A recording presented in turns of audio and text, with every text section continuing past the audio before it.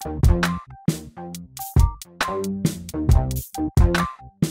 here with the Digital Digest, and today I wanted to share a quick look at the SanDisk Extreme 512 gigabyte micro SD card. Now, for many of you out there, this may not be a big deal, but for me, it is. And I've actually also got the one terabyte on the way.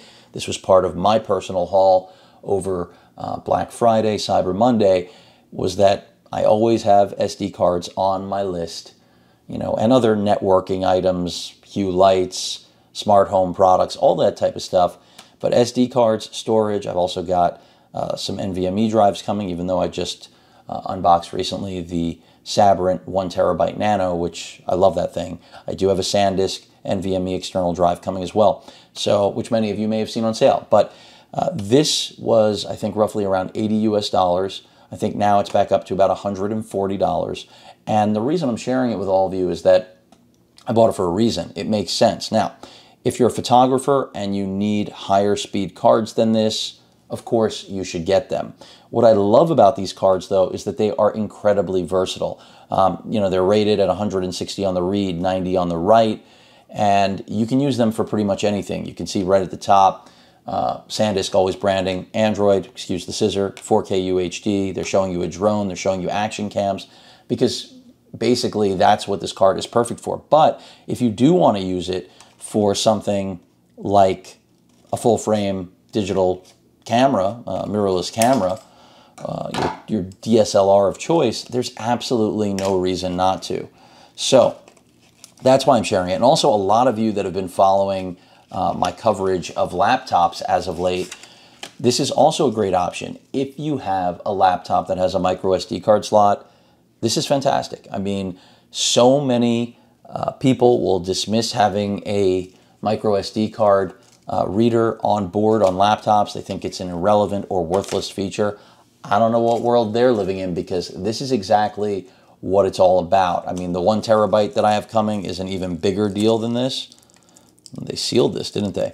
But there's nothing to sneeze at here with a 512 gig micro SD card. And with the read and write capability that this card sports, I mean, I can't believe, granted it's upside down, I can't believe, let's do that again, that I am holding a half a terabyte in the palm of my hand. I mentioned things getting smaller and smaller, and yes, these debuted a while back, the one terabyte as well, uh, and they're still very expensive, and the price will inherently come down. Let's get an extreme close up going. But it is very exciting to have this sort of capability again in my hand. Right now, the largest uh, SD card that I work with on a regular basis that I'm shooting this on right now is a half terabyte card. So to now have a card that is of similar speed and the exact same storage size that is versatile enough to live in, well, whether it's a full frame camera like the A9 Mark II, granted that wouldn't leverage the full speed of it. So let's say something more like uh, the RX 100 Mark 7, for example, where that is plenty of speed. After all, this doesn't support uh, the high-speed cards that full-frame cameras like the A7R4 and the A9 Mark II support. Perfect for something like this. Uh, perfect for something like the Osmo Pocket or the Osmo Action. Perfect for my DJI uh, Pro 2, the Mavic 2 Pro, excuse me, if you have a drone that you want to use.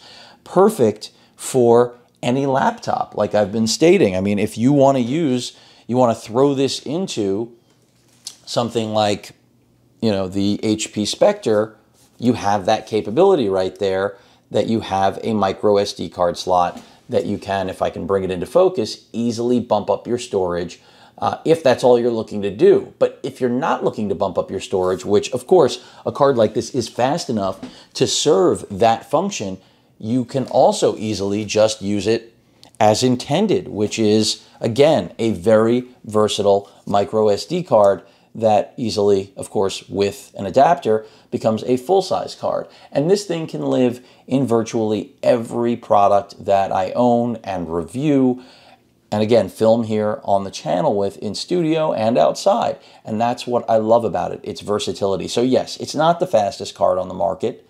No, it's the smallest. Uh, and the fact that it's micro really does, again, lend itself it can be, how did I forget? What about my smartphone right here? I want to throw it into my Galaxy uh, Note 10 Plus. I can do that. So it's really about compatibility, flexibility, and that this thing can live anywhere. So whether it's full frame cameras, uh, point and shoot cameras, laptops, unfortunately, the days of full size SD cards being able to live everywhere, well, they could never live in phones, obviously, is over. Um, very few laptops these days have full size readers unless they are desktop replacements. And I'm not a fan of desktop replacements, I'm a fan of desktops. So, with that said, this is going to serve so many different or functions for me personally. Again, a great backup card for full frame shooting, even though it doesn't have that speed. I'll keep repeating it.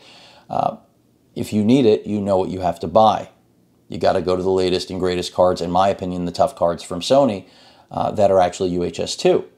But for universal utility, very tough to beat these cards. And the one terabyte that I have coming, I'm really excited about because again, if I want to use this really as a storage substitution and not just as an SD card on something like my HP Spectre uh, that I finally got a decent one that even though I have a two terabyte NVMe drive in there, this is going to be a great complement or its one terabyte brother that at some point Best Buy will deliver. So I'll include a link in the description. It's not at the sale price anymore, but give it some time. I guarantee you, you will see these things drop. They always do like rocks. It's a matter of time and they're not brand new anymore. And that's why they were put on sale. And a lot of you may be thinking they're still too expensive. Yes, you have a Samsung alternative, uh, but I stick with SanDisk on this. I've had some bad experiences with Sammy uh, micro SD cards just not performing. And by the way, that's not a knock. They make fantastic SD cards as well. I've just had one bad experience. I've never had a bad experience uh, with SanDisk in this realm. So uh, I'm partial to it. And also, they are the only distinguished one terabyte micro out there. So even though this is the half, uh, and by the way, the half terabyte is the better value. If that wasn't obvious already, I think the one terabyte is now back up to like over 400 US, which is bonkers. I mean, it was bonkers at 200 that I paid for it, but it's a convenience that I know I'm going to utilize and is worth it to me. Of course, if it's not, you better believe it'll go back.